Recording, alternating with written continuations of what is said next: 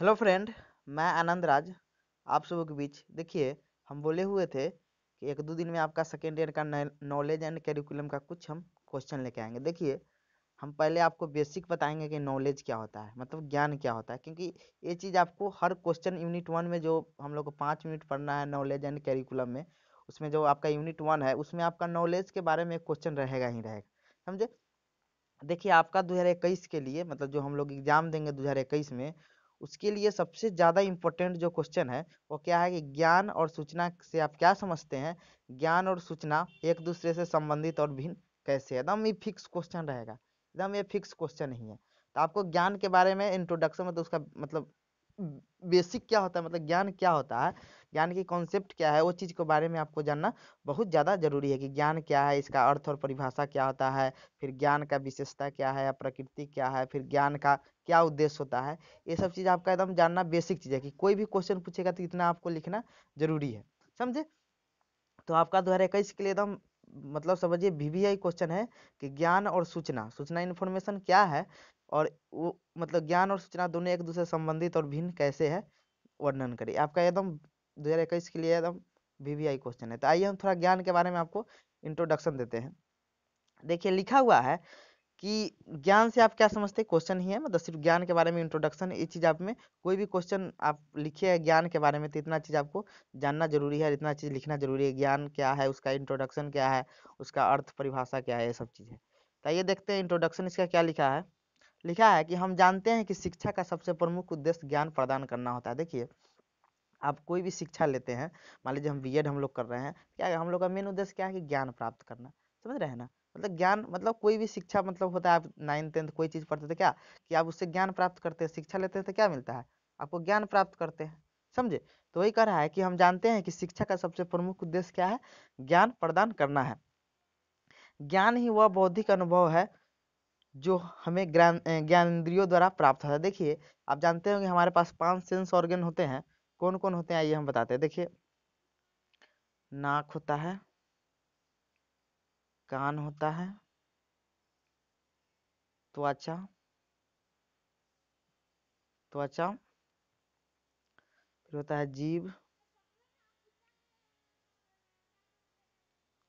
नाक। कान। त्वचा जीव और आँख। देखिए ये पाँच हमारे सेंस ऑर्गन होते हैं, जिसे ज्ञान इंद्रिया बोली जाती है तो इससे हमको ज्ञान की प्राप्ति होता है। तो वही चीज़ कहा जा रहा है, यहाँ पर देखिएगा लिखा है कि ज्ञान वह बौद्धिक बौद्धिक अनुभव है, जो ज्ञान इंद्रियों द्वारा प्राप्त होता है। देखिए, कोई भी आपसे सिंपल पूछे ना कि ज्ञान क्या होता है तो आप सिंपल बताइएगा, जो हमें ज्ञान इंद्रियों द्वारा जो जो अनुभव प्राप्त होता है, उसी को क्या बोलते हैं हम? ज्ञान कहते हैं। मतलब ज्ञान मतलब कोई भी आप चीज़ आपको ज्ञान इंद्रिया जो प्राप्त होता है ना, वही क्या होता है? ज्ञान होता है। समझ गए? तो वही कह रहा है कि ज्ञान ही वह भौतिक अनुभव है, बौद्धिक अनुभव है जो ज्ञान द्वारा प्राप्त होता है। फिर लिखा हुआ है कि हम ये भी जानते हैं कि इस पृथ्वी पर मनुष्य ही एक, एकमात्र प्राणी है, जो विचार, चिंतन, मनन, मंथन एवं अनुभव प्राप्त करने में समर्थ है। देखिए, इस पृथ्वी पर सिर्फ़ मतलब मनुष्य ही है, जो कोई चीज़ पर विचार कर सकता है, कोई चीज़ पर मंथन कर सकता है, कोई चीज़ पर चिंतन कर सकता है। समझ रहे हैं ना? तो वही कह रहा है कि कि हम ये जानते हैं कि इस पृथ्वी पर मनुष्य ही एकमात्र प्राणी है, जो विचार, चिंतन, मनन, मंथन एवं अनुभव प्राप्त करने में समर्थ है। और इन्हीं मानसिक क्रियाओं के द्वारा जो चिंतन है, ये सब क्या है? विचार है, मनन ये सब क्या है? एक मानसिक क्रिया है। और इन्हीं मानसिक क्रियाओं के आधार पर मनुष्य नए तत्वों से अवगत होता है और ज्ञान प्राप्त करता है। और क्या करता है? इन्हीं मानसिक क्रियाओं के द्वारा क्या करता है? ज्ञान प्रदान, प्राप्त करता है। फिर लिखा हुआ है कि हम ये भी जानते हैं कि ज्ञान ही समस्त शिक्षा का आधार होता है और हम ये भी जानते हैं कि ज्ञान ही क्या है? समस्त समस्त जितना भी शिक्षा है, उसका क्या होता है? आधार होता है। अर्थात जितने भी शिक्षा प्रणाली है, उसका आधार क्या है? ज्ञान ही है। फिर देखिए बहुत इंपॉर्टेंट चीज़ लिखा हुआ है कि ज्ञान धन की तरह होता है। देखिए, ज्ञान जो होता है ना, धन की तरह होता है। कि आपको जितना मिलेगा ना, सोचेंगे और हमको देखिए, धन से कोई संतुष्ट हुआ है आज तक। किसी के पास पाँच रुपया हो जाएगा तो कहेगा कि नहीं, दस रुपया हो जाए। किसी के पास दस रुपया हो जाएगा तो सोचेगा बीस रुपया हो जाए। मतलब संतुष्ट कोई नहीं होता, वैसे ही ज्ञान होता है। कोई सुने हुए हैं कि हमारा पढ़ाई अब अथी हो गया, अब नहीं पढ़ेंगे, हम पूरा पूरा हो गया। तो ज्ञान कबो खत मतलब अथी नहीं होने वाला चीज़ है। समझ रहे हैं? जितना मिलेगा उतना आपको कम ही है। मतलब समझे? तो वही कह रहा है ज्ञान धन की तरह है। जितना एक मनुष्य को प्राप्त होता है वो उतना ही ज़्यादा पाने की इच्छा करता है। मतलब आपको कितनों मिल जाएगा, आप संतुष्ट कबो नहीं हो पाइएगा तो वही ज्ञान है।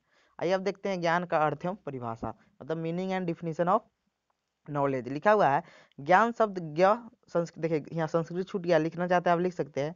ज्ञान शब्द संस्कृत भाषा के ज्ञ धातु से बना हुआ है, जिसका अर्थ होता है जानना, बोध, अनुभव से माना जाता है। देखिए, जो ज्ञान शब्द है ना, वो संस्कृत भाषा के ज्ञा धातु से माना जाता है, जिसका अर्थ क्या होता है?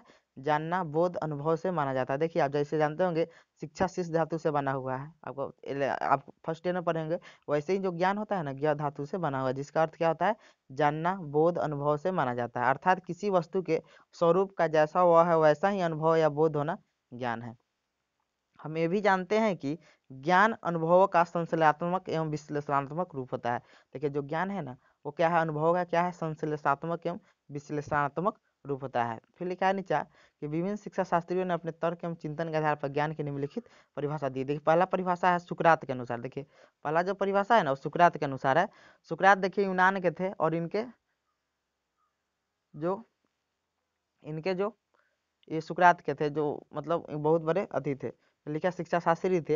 ये कह रहे हैं कि ज्ञान एक ऐसी शक्ति है जिसकी सहायता से कोई भी कार्य किया जाना संभव है। देखिए, आपके पास नॉलेज रहेगा ना तो आप कोई भी काम कर सकते हैं। समझ रहे हैं? तो वही कह रहा है कि ज्ञान एक ऐसी शक्ति है जिसकी सहायता से कोई भी कार्य किया जा देखिए आप जिस समाज में रहते होंगे जो मतलब पढ़ा लिखा आदमी होगा जो अनपढ़ आदमी होगा समझ रहे दोनों के कार्य करने की कार, मतलब क्रियाशैली आपको अलग अलग देखने को मिलेगी समझ रहे हैं ना? तो ये कह रहा है ज्ञान एक ऐसी शक्ति है जिसकी सहायता से कोई भी कार्य किया जाना संभव है। और देखते हैं गाँव समाज में जो पढ़ा लिखा सुनते होंगे कि कोई बीटेक करके एमटेक करके गाँव में खेती कर रहा है देखिए तो पढ़ा लिखा उसमें नॉलेज है तो कुछ अच्छा तरीका से करेगा तो खेती बहुत अच्छा से होगा, समझ रहे तो नॉलेज से भी कोई काम अच्छा से होता है। दूसरा है, काल सवेजी सवेबी के अनुसार, यहाँ सवेबी है, सवेबी के अनुसार लिखा हुआ है, क्रिया करने की क्षमता ही ज्ञान होता है। देख, क्रिया करने की जो क्षमता होती है आप देखिए, आप में ज्ञान होगा तो आप क्रिया अच्छा से कीजिएगा मतलब कोई कार्य बहुत अच्छा से कीजिएगा, समझ रहे हैं ना?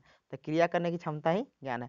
तीसरा है भारतीय दार्शनिक दार्शनिक के अनुसार मतलब इंडियन जो आध्यात्मिक दार्शनिक है, उनके अनुसार क्या है कि ज्ञान वह है जो मनुष्य को सर्वांगीण विकास करता है तथा उसके लिए मुक्ति का मार्ग प्रदर्शित करता है। मुक्ति करने को हुआ कि कोई चीज़ से मुक्ति, जैसे मान लीजिए अशिक्षा से मुक्ति है मतलब कोई चीज़ से मतलब आपको मुक्ति के लिए मार्ग प्रस्तुत करेगा, जो आपके जीवन में कठिनाई उत्पन्न करता है वो चीज़ सबसे आपको मुक्ति प्रदान करता है कौन? ज्ञान।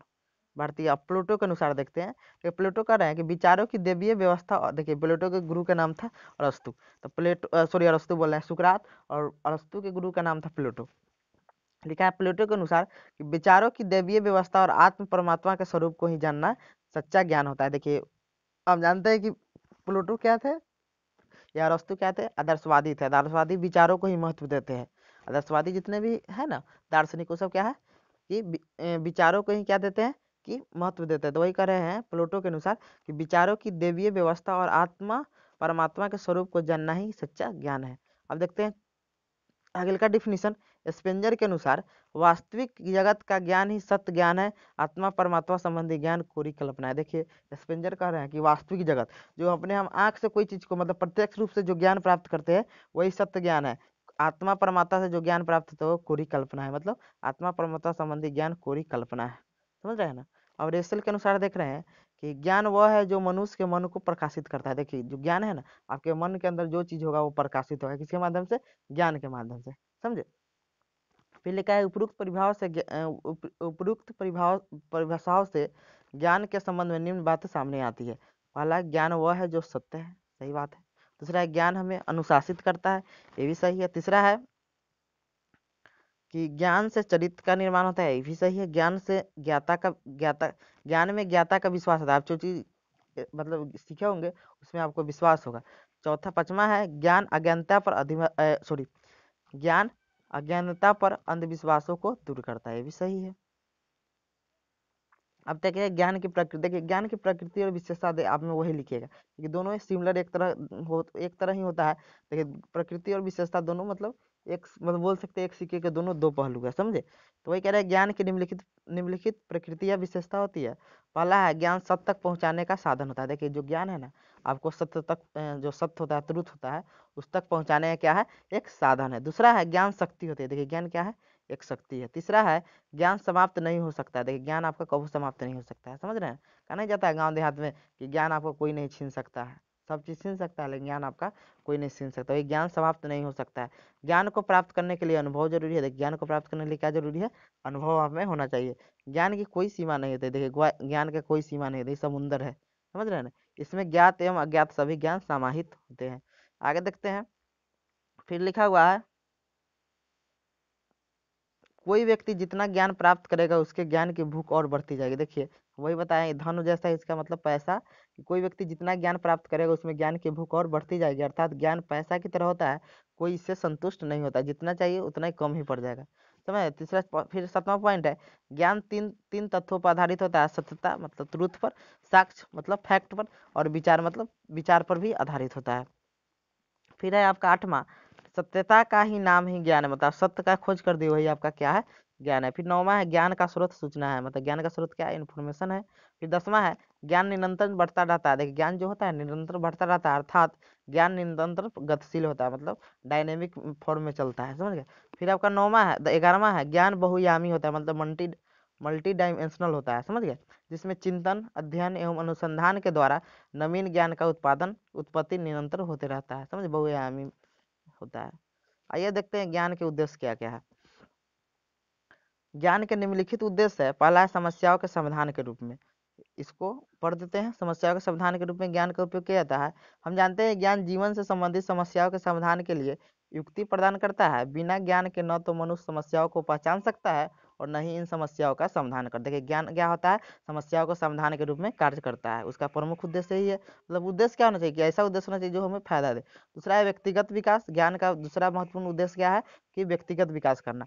ज्ञान का एक उद्देश्य यह भी होता है कि मनुष्य का व्यक्तिगत विकास कर सके। हम जानते हैं कि व्यक्तिगत विकास के लिए सभी आयामों, जैसे भाषा, कौशल, व्यवहार, अभिवृत्ति, अभिक्षमता आदि को विकसित करना ज्ञान का महत्वपूर्ण उद्देश्य है। तीसरा है किसी घटना और परिस्थिति को समझने में सहायक।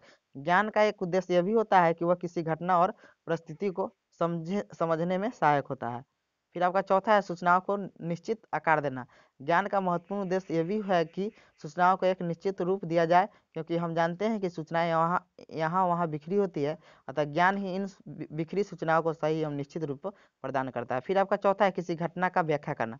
हम जानते हैं कि ज्ञान कोई घटना का व्याख्या करता है, ज्ञान के ही माध्यम से कोई भी जटिलता की व्याख्या, देखिए, कोई भी जटिल चीज़ होगा ना, ज्ञान के माध्यम से उसको शॉर्ट मतलब मतलब व्याख्या कर सकते हैं शॉर्ट लैंग्वेज में, समझ रहे मतलब सिंपल लैंग्वेज में। फिर आपका पांचवा उपयुक्त क्षमता का विकास करना। किसी भी क्रिया को उचित ढंग से क्रियान्वयन के लिए उपयुक्त क्षमता का विकास करना भी ज्ञान का एक उद्देश्य होता है।